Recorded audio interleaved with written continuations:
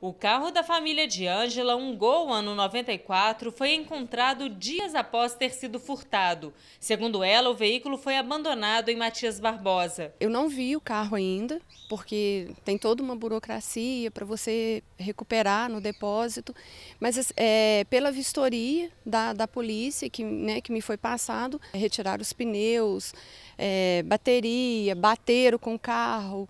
Então, assim, está bem danificado. Em Juiz de Fora, 343 veículos foram recuperados pelas polícias civil, militar e bombeiros entre os meses de janeiro a agosto deste ano. Os dados foram repassados pela Secretaria de Estado de Segurança Pública. Logo que são localizados, os veículos são encaminhados para um pátio credenciado. Só depois de vistoriados e periciados, eles podem ser devolvidos aos proprietários.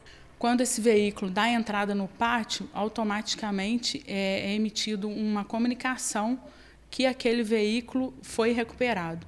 Então, o que é importante salientar? Que o proprietário do veículo sempre mantém o endereço atualizado, porque se por algum motivo ele mudou né, de residência, aquela comunicação não vai chegar até ele, ele não vai ter ciência de que o veículo dele foi localizado. Nesse período em que esse veículo ficou em poder né, desse autor, a gente tem que verificar se houve alguma modificação no chassi, no motor, alguma coisa ali que impeça esse veículo de voltar à circulação. Então, em média, é, o perito tem 10 dias para poder confeccionar esse laudo. Ainda de acordo com o levantamento, foram registrados nos oito primeiros meses do ano, em Juiz de Fora, 443 furtos de veículos e 44 roubos.